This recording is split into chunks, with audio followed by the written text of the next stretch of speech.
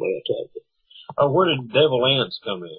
Who was Devil Anse? Devil Anse, actually, well, at Devil Anse, actually, home was over here on Island Creek.